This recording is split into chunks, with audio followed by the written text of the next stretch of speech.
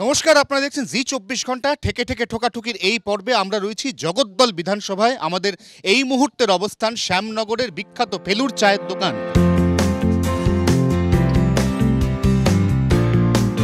কি বলছে এখানকার প্রত্যেকটি ঠেক জানার জন্য আমরা এই মুহূর্তে আমাদের সঙ্গে একদিকে পেয়েছি তৃণমূল কংগ্রেসকে, একদিকে পেয়েছি জোটকে, যেখানে রয়েছে বামেরা, যেখানে রয়েছে কংগ্রেস এবং তার সঙ্গে অবশ্যই পেয়েছি এই মুহূর্তে গোটা ব্যারাকপুর লোকসভা কেন্দ্রে অন্যতম প্রাসঙ্গিক দল, অন্যতম শক্তিশালী দল বিজেপিকে। আমি প্রথম তৃণমূল কংগ্রেস আপনাদের কাছে প্রশ্ন করব জগদ্দল গোটা ব্যারাকপুর, এই মুহূর্তে কঠিন লড়াই, কারণ এখানে বিজেপি যে নামটিকে নিয়ে চলে, ওঠে, বসে তার নাম অর্জুন সিং। কতটা টাফ দু হাজার একুশের বিধানসভা ভোট? না টাফ নির্বাচন না নির্বাচন নির্বাচনের মতনই হবে। ব্যাপারটা হচ্ছে মানুষের কাছে যে আতঙ্ক ছিল দু হাজার উনিশের তেইশে? মেয়ের? বা বিজেপিদের আতঙ্ক। বিজেপির তার কাজ ছিল আতঙ্ক খাবে কেন? আমরা প্রত্যেকের সঙ্গে সহাবস্থানের মধ্যে আছি। বিজেপিরা যেভাবে নির্বাচন করতে এসছে এই- এইভাবে কাটমানি তোলে তারা ভোট তোলে তারা হ্যাঁ দুজনেই কাটমানি কথা কোনো কাটমানির এখানে কোনো অভিযোগ নেই। এখানে এখানে মধ্যে আছে দুটো দলই কাটমানি এখানে মানুষ উন্নয়নের পক্ষেই ভোট দেবে এবং আতঙ্কের বিরুদ্ধে ভোট দেবে আর অপরাধ আর থার্ড ফ্রন্ট যেটা বলছেন বা সংযুক্ত মোর্চা এটা এটা এটা এটা কোনো যুক্তিগত না আমি একটা কথা বলি। দু দলই একজনকে দেশ বিক্রি করছে একজন রাজ্য বিক্রি করে দিচ্ছে। কোনো সমস্যার মানে, উন্নয়নমূলক কোনো কথাবার্তা বলছে তারা এ টিম আর বি টিম আগে তো তৃণমূলের এ টিম তৃণমূলের এ টিম তৃণমূলের বি একদম ভুল বলছেন। চৌত্রিশ বছর বামফ্রন্ট ক্ষমতা এসে সমস্ত ফ্যাক্টরিগুলোতে তালা দিয়ে রেখে গেছে। তৃণমূল এসে ভেতরে মাঠ করে দিয়েছে। সমস্ত মেশিনপত্র বের করে সমস্ত বিক্রি করে দিয়েছেন। তৃণমূলের পচামাল বিজেপির দিকে চলে গেছে। তৃণমূলের কোনো ব্যাপার নেই। মমতা ব্যানার্জি অর্জুন অর্জুন সিং সব ওই সেটগুলো কেটে বিক্রি করে দিচ্ছে। রোলিং অর্জুন সিং এর আমলে যে ন্যানো বাড়িগুলো হয়েছিল সব বাড়িগুলো আজকে ভেঙে পড়ে যাচ্ছে। আসল কথা হচ্ছে তৃণমূল থেকে ওয়াশিং মেশিন হয়ে তারা বিজেপিতে গেছে। চৌত্রিশ বছর বামফ্রন্ট কি করেছে বলুন না? রেলকে বিক্রি করে দিচ্ছে। ব্যাংককে বিক্রি করে দিচ্ছে। বামফ্রন্ট সরকার চৌত্রিশ বছরে শিক্ষা শিল্প স্বাস্থ্য সমস্ত কিছু একেবারে দরিদ্র করে দিয়েছে। দশ বছরে শিক্ষা স্বাস্থ্য এবং পরিষেবার ক্ষেত্রে সামগ্রিক পরিষেবার ক্ষেত্রে মমতা বন্দ্যোপাধ্যায় দশ বছরে যে উন্নয়ন পশ্চিমবঙ্গের মানুষের কাছে দিয়েছে সেই উন্নয়নে সেই উন্নয়নে সাধারণ মানুষ দেখছে। এখন স্যার, স্যার, দুয়ারে সরকার না এখন জমের দুয়ারে সরকার চলছে রাজ্যে এখন আমাদের। দুয়ারে বলছে উন্নয়ন মানুষকে জম- বলছে। এরা মানুষকে জম বলছে। এরা মানুষের উন্নয়ন মমতা বন্দ্যোপাধ্যায় করছে। সত্তর বছরে কিছু আমরা জঙ্গল রাজত্বে বসবাস করছি জঙ্গলে। হুইল চেয়ারে বসে মমতা বন্দ্যোপাধ্যায়ের প্রচার তৃণমূল কংগ্রেসকে অ্যাডভান্টেজ দেবে কি না? তৃণমূল কংগ্রেস না না হুইল চেয়ার বলে কথা নয়। মমতা বন্দ্যোপাধ্যায় যেখানে যাবে সেখানে মানুষের জনজোয়ার রয়েছে। মমতা ব্যানার্জি অসুস্থ হয়েছেন। অনেক অভিনেত্রীকে দাঁড় করাবার পরও যে নিজেকে অভিনয় করতে হচ্ছে এটা বিরাট লজ্জা ওনারা তো অভিনেত্রীদের দাঁড় করিয়ে দিয়েছেন। আমাদের রিজেক্ট শুনুন দিদি বলেছিলেন খেলা হবে খেলা হবে। দিদি তো কি দিয়ে খেলবেন? দিদি পা ভেঙে নিয়ে বসে আছেন প্র্যাকটিস ম্যাচেই নিজে নিজে পা ভেঙে নিয়ে বসে আছেন আবার বলছেন খেলা হবে মমতা ব্যানার্জি নাটক করছে মোদিও নাটক করছে। মোদি মমতা এক সব দুজনই দুজনই এক দুজনই এক। ওনার ঘটনাটা কি দুর্ঘটনা নাকি চক্রান্ত? না দুর্ঘটনা। অবশ্যই চক্রান্ত। মমতা বন্দ্যোপাধ্যায়কে মমতা বন্দ্যোপাধ্যায় করল। মমতা ব্যানার্জি তাহলে অন্য কেন বলছেন না যে সিবিআই তদন্ত হোক? ওনাদের সৎ সাহস থাকলে অন্য বলুন যে আমরা সিবিআই তদন্ত করব। কেন বলছেন সিবিআই তো কেন্দ্রীয় সরকারের কাছে বিক্রি। দিদির সঙ্গে পাঁচ হাজার প্রশাসন ডবল তাই তো মমতা ব্যানার্জি বলছি বলছি মমতা ব্যানার্জি বলছে, পশ্চিমবঙ্গে পশ্চিমবঙ্গে স্পেশালিস্ট হসপিটাল হয়েছে। তার কথায় প্রচুর স্পেশালিস্ট হাসপাতাল হয়েছে, কিন্তু দেখা গেল নন্দীগ্রামে তার দুর্ঘটনা যখন আহত, জবাব দিদি বলেছে সুপার স্পেশালিস্ট হসপিটাল বাংলার প্রত্যেক কোনায় কোনায় আছে। তার নমুনা আমরা দেখতে পেয়েছি। দিদির সামান্য একটু চোট লেগেছে। এস এস কেমে আসতে হয়েছে। চিকিৎসা বিনা পয়সা পাওয়া যায় ওষুধ পাওয়া যায়। এটা ভারতীয় জনতা পার্টি বা সংযুক্ত মোর্চা ভারতীয় চিন্তা। নন্দীগ্রামের হাসপাতাল কি সুপার স্পেশালিটি ছিল? সুপার স্পেশালিটি হসপিটাল আছে কিন্তু super Z Z category Z ক্যাটাগরির নিরাপত্তা রক্ষী যারা থাকে সেই ক্যাটাগরির নেত্রীকে ওই হসপিটাল রাখা একটু রিক্স হয়ে যাচ্ছে। নন্দীগ্রামের হাসপাতালটা কি সুপার স্পেশালিটি ছিল। হ্যাঁ হ্যাঁ হ্যাঁ, সব জায়গায় আছে কিন্তু কোনো চিকিৎসা নেই খালি বিল্ডিংটা হয়েছে নীল সাদা রং। সেকুলার ফ্রন্টকে পশ্চিমবঙ্গে এনে বামেরা বা কংগ্রেস তারা ঠিক করেছে না ভুল করেছে নাকি পরবর্তীকালে এর ইমপ্লিকেশন সবাইকে ভোগ করতে হবে?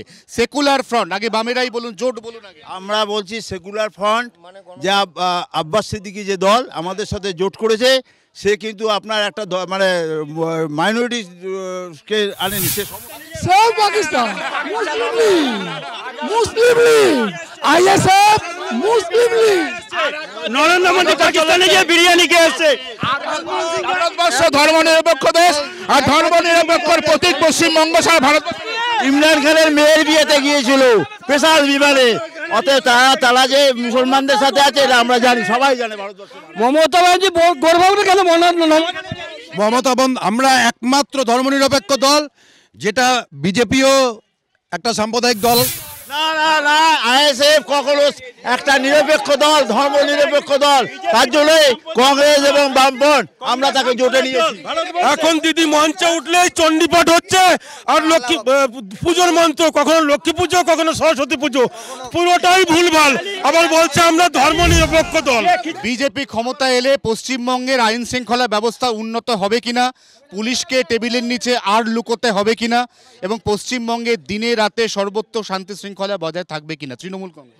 পশ্চিমবঙ্গে হাতরাস হয় না। পশ্চিমবঙ্গে নারীরা সুরক্ষিত। পশ্চিমবঙ্গে এখনও বারোটার সময় নারীরা রাস্তাঘাটে ঘুরে বেড়াতে পারে। পশ্চিমবঙ্গে নারী সুরক্ষা ছিল পশ্চিমবাংলার নারী চৌত্রিশ বছর যে বাম মহিলাকে সুরক্ষিত দিয়েছে তৃণমূল কংগ্রেস চৌত্রিশ বছর দশ বছরে নারী নারী শিক্ষা নারীদের কোনো মূল্য নেই মর্যাদাও নেই।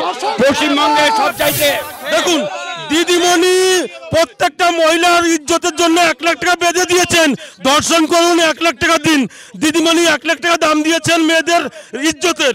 আপনারা কীভাবে অর্জুন সিংকে যে খারাপ বলছে সেই অর্জুন সিংকে কে তৈরি করেছে? এই মমতা ব্যানার্জি পরেশ দত্তকে বলছে। পরেশ দত্তকে কি বলেছে? পরেশ দা অর্জুন ভালো ছেলে ওকে দেখবেন। আজকে অর্জুন খারাপ বালি চুরি করেছে কে? এক সাইডে কে চুরি করছে? ইনচেক বিক্রি করে অর্জুন সিং কীরকম লোক?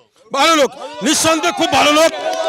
সমস্ত মিথ্যা নাম কি? ভালো হবে ওনার থেকে গুন্ডা গুন্ডা গুন্ডা। গুন্ডা গুন্ডা গুন্ডা। অর্জুন সিং অর্জুন সিং।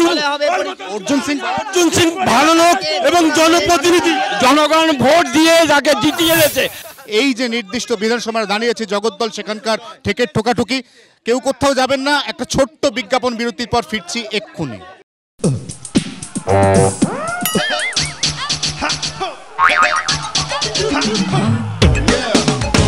ঠেকে ঠেকে ঠোকাঠুকির এই পর্বে আমরা রয়েছি টিটাগড়ে।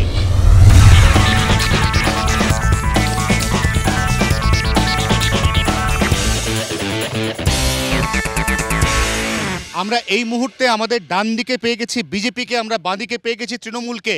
আমরা এমন জায়গায় দাঁড়িয়ে রয়েছি যেখানে বিগত কয়েক বছরে বিজেপি অত্যন্ত শক্তিশালী রাজনৈতিক দল হিসেবে উঠে এসছে, কিন্তু যে নেতার হাত ধরে উঠে এসছে সেই নেতা ছিলেন একদা তৃণমূল কংগ্রেসের দোর্দণ্ড প্রতাপ নেতা।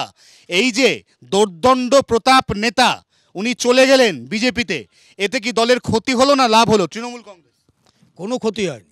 কোনো হয় কোনো কোনো দোর্দণ্ড প্রতাপ ভোটে কোনো প্রভাব কোনো প্রভাব পড়বে না কোনো প্রভাব অর্জুন সিং চলে যাওয়ায় প্রভাব পড়বে প্রভাব প্রভাব পড়বে যে সেটা আপনারা দু হাজার একুশের ইতিমধ্যে কি পড়েছে লোকসভায় পড়েছে প্রভাব পড়েছে পড়েছে প্রভাব দোদণ্ড প্রতাপ দোদণ্ড প্রতাপ নেতা বলতে একমাত্র মমতা ব্যানার্জি আছে সে গেলেই একমাত্র সমস্যা পড়বে আর কোথাও কিছুতে সমস্যা নেই বিজেপি দলে, ওদের দলে একটাই ল্যাম্প, একটাই পোস্ট, বাকি সব ল্যাম্প পোস্ট। অতএব এইবার নির্বাচনে ওরা কোনোভাবেই আসতে পারবে না, সেটা ওরা বুঝে গেছে।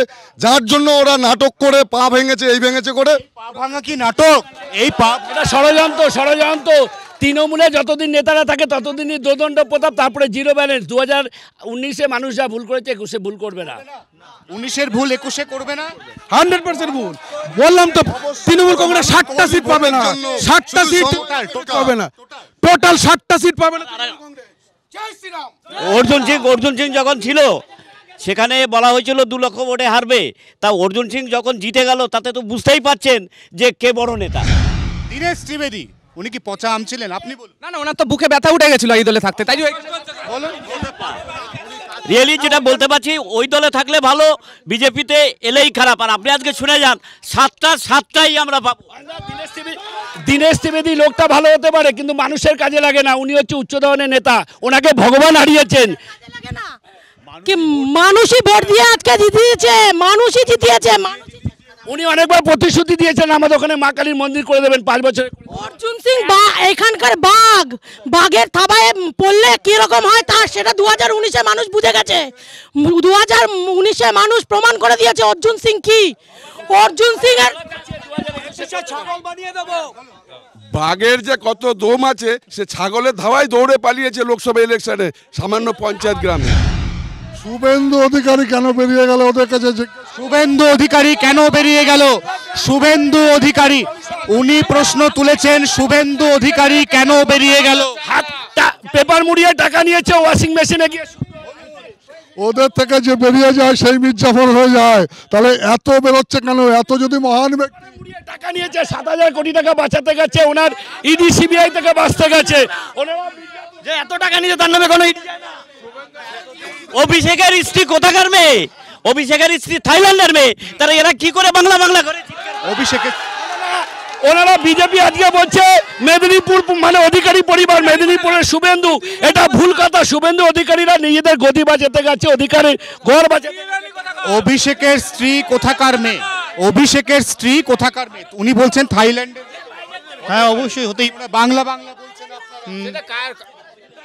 যে কার বউ সরকারে আছে চোদ্দ সাল ঘটনা হচ্ছে যে মোদি সাহেব হ্যাঁ, যখন ক্ষমতায় আসবে তার আগে যখন বলল যে আমরা হ্যাঁ সে পনেরো লক্ষ টাকা দেব দু কোটি চাকরি দেব হ্যাঁ আজকে সেই সমস্ত কলকারখানা বিক্রি করে দেওয়া দিনিয়া দুনিয়া বিক্রি- করোনার সময় এক বলতে করোনার সময় যখন আমাদের মহামারী অবস্থায় তখন আমাদের ভারতবর্ষের প্রধানমন্ত্রী আমাদের তো পাঁচশো টাকা করে মহিলাদের অ্যাকাউন্টে দিয়েছিল।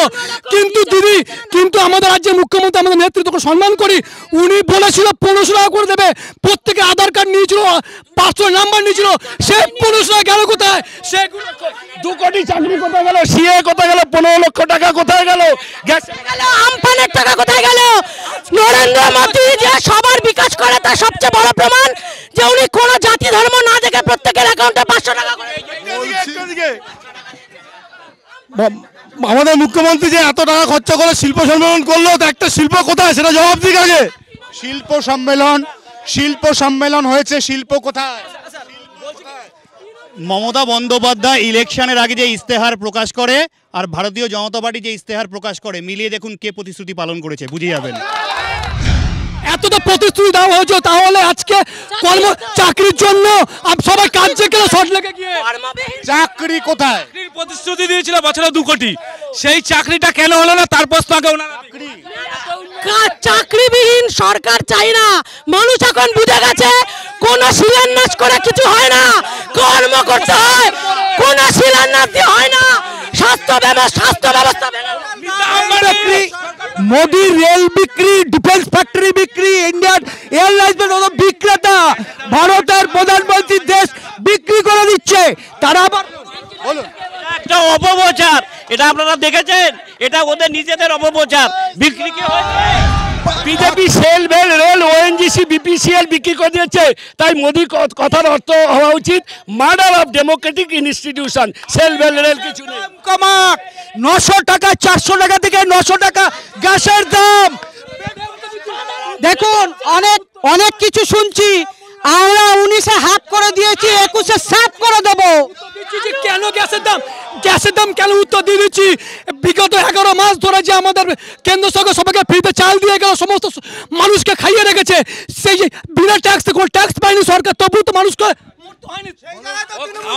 আমাদেরকে ফ্রিতে রেশন দিচ্ছে গরিব মানুষকে দেয় না চাল কেন্দ্র দেয় না চাল কেন্দ্র দিচ্ছে না চাল কেন্দ্র দিচ্ছে না আমাদের পরবর্তী টপিক বিগত লোকসভা নির্বাচন বিগত বিধানসভার বাই ইলেকশন এই ব্যারাকপুর লোকসভা কেন্দ্রের বিস্তীর্ণ অঞ্চলে প্রায় প্রতিদিন রাজনৈতিক সংঘর্ষের ঘটনা ঘটেছে বোমাবাজি হয়েছে এখানে পুলিশকে নিগ্রহের শিকার হতে হয়েছে ভোটের দিন এখানে শান্তি বজায় থাকবে নাকি থাকবে না? তৃণমূল শান্তি বজায় থাকবে শান্তি বজায় থাকবে। ভোটের দিন ভোটের দিন শান্তি বজায় তো ওদের রাখতেই হবে। না হলে তো ওদের পিঠ বাঁচানো মুশকিল হয়ে যাবে। ওরা তো ভয়ে শান্তি বজায় রাখতে হবে। পিঠ বাঁচান আগে নিটের পিঠ আমাদের লড়াই সন্ত্রাসের বিরুদ্ধে ঠিক আছে? এই যে যে নির্বাচনের তৃণমূল স্বীকার করল, শান্তি থাকবে। তার জন্য তৃণমূলকে আমরা ধন্যবাদ জানাই। শান্তি থাকে। রাজ চক্রবর্তী মঞ্জু বসুরা জিতবে, রেকর্ড মার্জিনে রাজ চক্রবর্তী মঞ্জু জিতবে। ভোট পাখি এই ভোট পাখিরা এই এক বছর কোথায় ছিল? করোনা মহামারীতে তখন তো আমাদের দিদি একমাত্র পাতা নেমে থেকেছিল এটা চূড়ান্ত বিবাদের রূপ নিয়েছে বলা যায় দুপক্ষ কেউ কাউকে ছেড়ে কথা বলতে রাজি নয় এবং তারা এখনও কথা বলতে বলতে ঠিক এভাবে আমাদের সঙ্গে এগিয়ে যাচ্ছে তবে আমাদের সময় একদম শেষ। আর ওখানে শেষ করছি। ঠিক এইভাবে জি চব্বিশ ঘণ্টা দেখতে থাকুন। থেকে থেকে ঠোকাঠুকি।